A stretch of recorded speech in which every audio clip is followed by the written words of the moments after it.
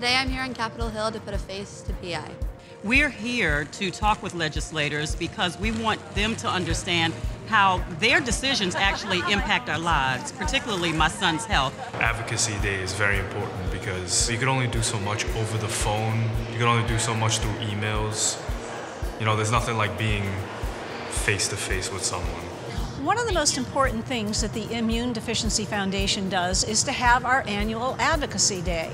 This is a time that we bring people from around the country in to talk to their members of Congress, to advocate and to educate about our community and about the issues that affect our lives, our access to care, and our, our very existence. It's really great to be here. You get a chance to meet with your representatives, not just an email, it's an actual human being.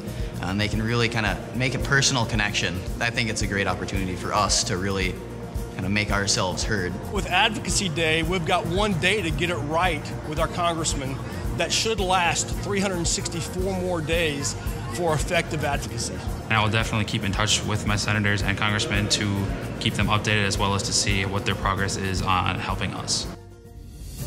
Here on Advocacy Day, we bring people in from around the country, but we need health advocates all over the country. We need them in their states. We need them to be educated. We need them to be willing to raise their hand and say, I have a primary immune deficiency, or my child has a primary immune deficiency.